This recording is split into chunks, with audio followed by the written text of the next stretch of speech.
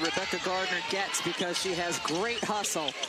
Parker, the exaggerated fake, lost it. How about this? It's going to go in off of Laney. And that might be the kind of thing where New York says, is it just Chicago's night? Wow.